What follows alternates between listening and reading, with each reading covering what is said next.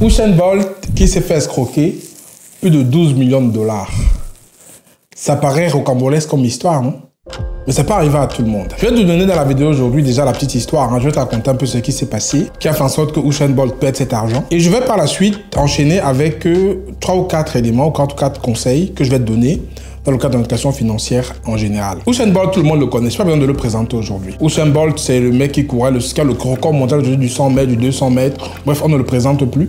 Il a arrêté sa carrière, je crois, en 2017 ou 2018, je ne sais plus en quelle année exactement. Mais depuis là, il continue à gagner de l'argent, il signe des contrats publicitaires et sa fortune aujourd'hui est estimée à 90 millions de dollars environ, sa fortune. Et préparant sa retraite, Usain Bolt, ce qui s'est passé, c'est qu'il a placé son argent sur plusieurs comptes bancaires, dont un compte en Jamaïque, en fait, où il a placé près de 12 millions de dollars ou 13 millions de dollars. Et c'est un compte, en fait, d'une société qui s'appelait, en fait, une société qui gérait, qui s'appelait, j'ai le nom ici, qui s'appelait Stock and Security Limited. Limited, un truc comme ça. Donc, c'est une société qui gérait ce compte-là. Et il s'est aperçu il y a quelques jours que l'argent a disparu, qu'il n'y a plus d'argent dans ce compte-là, qu'il ne reste que 11 000 dollars et que les 12 millions qu'il avait dans ce compte ont été volatilisés, ont été pris. Et son agent a donc dit que voilà, c'est une histoire qui est assez grave et que son compte a été complètement vidé et que les policiers sont en train d'enquêter pour savoir qui a pris cet argent-là pour essayer de le restituer. Ils ont déclaré qu'ils donnent 8 jours à la personne pour remettre l'argent sur le compte. Je, pense, je trouve ça un peu bizarre parce que 8 jours, ça veut dire peut-être qu'ils connaissent la personne ou pas, j'en sais rien. Mais ce qui est intéressant de comprendre dedans, c'est que l'affaire du Bolt, ce n'est pas la première histoire de sportif qui se fait spolier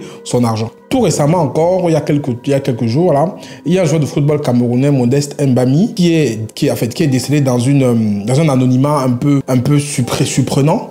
Un monsieur qui a fait plutôt une belle carrière, qui a été champion olympique avec les lieux indomptables, et qui est mort d'un anonymat vraiment méprisant. On dit qu'il est mort, il a, fait, d'après les articles qui sont sur Internet, il est mort ruiné. Avec la carrière, il a, il a eu une belle carrière, il a une carrière où il a joué au Paris Saint-Germain, il a joué à Marseille, il a quand même une carrière où il a gagné de l'argent. Mais apparemment, ces derniers jours, les derniers jours qu'il a passés étaient des jours misérables. Il s'est dit même qu'il est mort chez sa voisine. Ça veut dire que l'argent qu'il a gagné, apparemment, il a mal géré ou c'est sa femme qui est partie avec, il y a des histoires comme ça. Mais un truc, c'est qu'il n'avait plus un sou. Ça, c'est l'histoire d'un joueur de foot modeste, Mbami. Et on a entendu plein d'autres histoires comme ça où des joueurs de foot, ou même d'autres gros entrepreneurs de personnes qui n'ont pas d'éducation financière, qui ne savent pas comment gérer l'argent, finissent leurs derniers jours, finissent ou meurent complètement ruinés. Mais l'affaire du chaîne Bolt, c'est une affaire qui est vraiment intéressante. il est important que je vous donne trois éléments, trois, quatre éléments pour que vous aussi, vous puissiez pas peut-être vous faire escroquer et tomber euh, dans, dans, une perte financière énorme. L'éducation financière est très intéressante, mais c'est dommage que les gens ne ratent pas ça de près qu'on n'en parle pas. Mais avant de te donner ces trois éléments, je te rappelle que je suis à Dakar à partir du 2 février.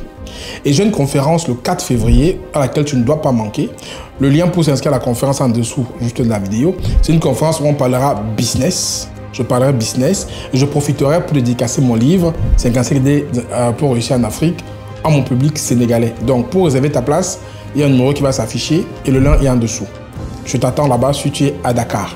Donc si on revient au conseil que je peux te donner pour éviter de vivre une histoire comme Usain Bolt ou comme d'autres sportifs ou comme d'autres personnes qui ont perdu beaucoup de capitaux. Premier élément en fait, c'est que quand tu ne connais pas le domaine financier où tu mets ton argent, fais-toi accompagner par quelqu'un de fiable ou forme-toi. Ne mets pas ton argent dans un endroit où tu ignores, ne mets pas ton dans un actif que tu ne maîtrises pas. Je ne vais pas revenir sur la l'IEP minimal et tout ça, les gens qui ont perdu des centaines de milliers. Mais quand tu ne connais pas un endroit, quand tu ne connais pas un endroit ou quand tu ne connais pas comment ça se passe, ne mets pas ton argent là-bas. Premier élément, c'est vérifie bien où tu mets ton argent, fais-toi accompagner, fais-toi former ou peut-être euh, ne mets pas ton argent tout simplement où tu le gardes dans une banque et c'est tranquille. Le deuxième élément, en fait, c'est qu'il faut suivre tes investissements. Parce que le tout n'est pas de mettre quelqu'un gère pour toi, il faut avoir un suivi. Moi, tous mes investissements, j'ai un suivi presque hebdomadaire en fait. Je sais ce qui se passe. J'essaie de checker pour voir. Dès qu'il y a une anomalie, j'essaie de voir ce qui ne va pas pour rattraper le coup rapidement. Après, on me dira que les escrocs peuvent vider du jour au lendemain. Oui, mais le fait de suivre quand même, ça évite que tu, on peut te tromper.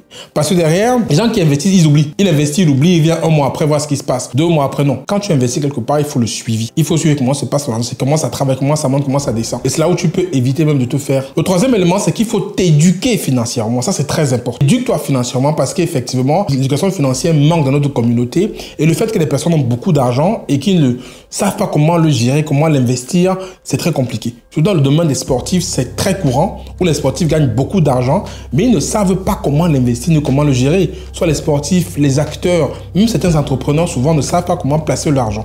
Donc il est important que tu t'éduques financièrement pour éviter de tomber dans un problème comme Usain Bolt. Et je vais terminer en disant que quand le you passe, c'est qu'arriver à Usain Bolt, ça peut arriver à tout le monde tous les jours ou même dans ton compte bancaire, tu peux avoir 5 euros, 10 euros tous les jours qui disparaissent, tu t'en rends pas compte alors qu'on est en train de te spolier. Donc mon dernier conseil, ça va être de bien regarder tes comptes, de toujours suivre tes relevés bancaires de checker chaque dépense, de voir ce qui va, ce qui ne va pas. Et s'il y a une dépense que tu ne comprends pas, remonte à ta banque, tu demandes ce qui ne va pas. Ne regarde, n'attends pas la fin d'année pour regarder tous tes comptes bancaires. Regarde-les tous les mois et regarde ligne par ligne. Ça te prend peu de temps, c'est comme ça que tu peux éviter de te faire voler même si ce n'est que 1 euro. Ce que je vais partager avec toi aujourd'hui par rapport à cette histoire d'Ocean Bolt qui est une histoire qui m'a vraiment interpellé, qui peut arriver à tout le monde, peut-être pas la même hauteur que Ocean Bolt qui a perdu des millions, mais à une hauteur peut-être au moindre. le fait que ce soit accumulé, ça peut t'impacter toi. Donc, j'espère que la vidéo t'a intéressé. Mets-moi en commentaire ce que tu en penses. Partage la vidéo et je te dis à très bientôt. C'était Franck Kenyé. Ciao, ciao.